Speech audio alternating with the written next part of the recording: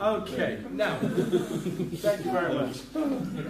I wanted to share that with you because it introduces a number of concepts, particularly in the arena of cheating at cards. First things first, you've got to know who you're playing against, which is why some of the best poker players don't need to cheat at all. They're masters of reading the body language of the other players. However, how would it look if you could cheat at cards? I'm sure most of you here are familiar with that wonderful book written by S.W. Erdnase, the expert at the card table although it's a very old book, first published in 1902, if no other book on sleight of hand with cards was written since that time, I think it's fair to say we would have had the definitive book on card handling, card cheating. Now, when you consider how card magic has developed over the last 110 years, it's staggering, isn't it?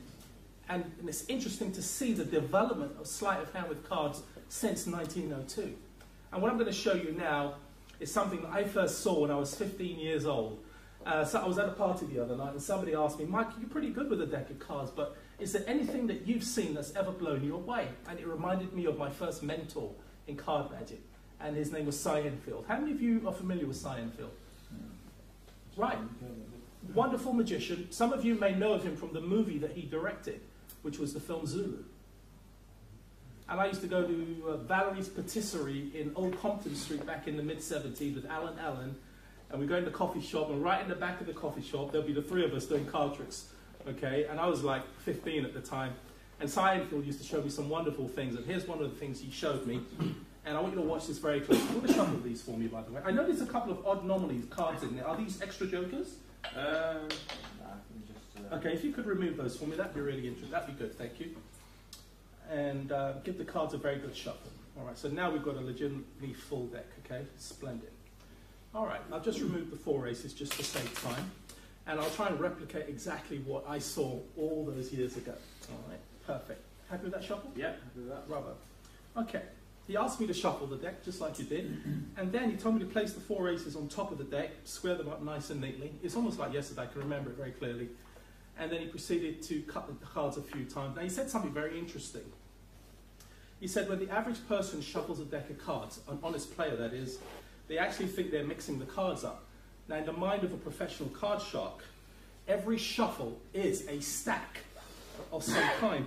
The distinction at work here, my friends, is that a card shark knows the position of one or two cards prior to the shuffle. And in the act of shuffling, reposition those cards so that in the course of dealing, they end up with the winning hand. It's a very simple concept intellectually. But to put it into practice, that's an entirely thing, different thing altogether, as I've just done. Of course, in gambling circles, they say no matter how many times you shuffle the deck, always cut the cards. Uh, I stack for a five handed game, and the fifth card delivers the first ace. Now, because this was a crooked shuffle, it allows me to deal fairly, and as you can see, each and every card is being dealt off the top. And that, my friend, is probably the best thing I've ever seen done with a deck of cards.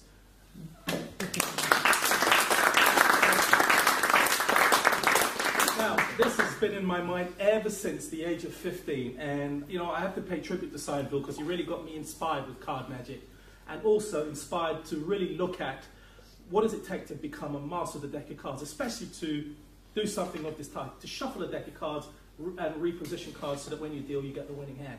Now think about this for a moment as a concept. If you were to do this in a game situation, you want to shuffle these again for me? Um, dealing yourself the four aces might win you some money, but not a lot of money. Do you want to know why? Well, you're not encouraging the other players to bet heavily. However, imagine if you could extend your skills to an entirely different level and encourage the other players in the game to improve and bet heavily. And I guess in Texas Hold'em that would come in very handy, wouldn't it? So let's try this as an exercise.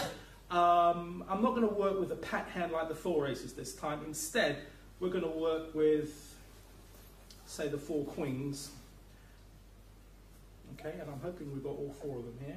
Yes, we do. Here we go. Splendid. Now, one of the most interesting things that I learned with card cheating is that most cheaters today uh, aren't lone rangers. And what that means is they tend to work in teams now, and they would never deal themselves the winning hand. It's a way of deferring suspicion onto themselves. So they throw the give the winning hand to somebody else in the game. For example, my friend over here. Okay? So with the four queens, I should point out um, a great card sharp by the name of Dad Stevens, the legendary Dad Stevens, once said, you would never need more than, say, a three of a kind to, to get the money. But for the sake of this demonstration, we're going to work with all four queens. Okay, and I'm going to attempt to stack the deck so that I don't get the winning hand. Let's try this shuffle here, but my friend does. And I really want you to notice this shuffle here. Come in a little closer. I want you to notice how the cards are being mixed up. Can you see them all being mixed together? Does that look good for you? I'm going to give the cards one more shuffle. And notice how the cards are being really woven together. Exactly as you would in your own home game. Okay? Mm. And now when you shuffled earlier, you were only concerned with mixing the cards. But yeah. given that we're working with the four queens, I've tried to position them for a six-handed game with my man getting the winning hand. And once again, a very fair shuffle, all the cards coming off the top. And so you get the pair of queens there. And there's one thing I want you to keep in mind. The player sitting on four queens isn't my partner. He's the sucker we're taking to the cleaner.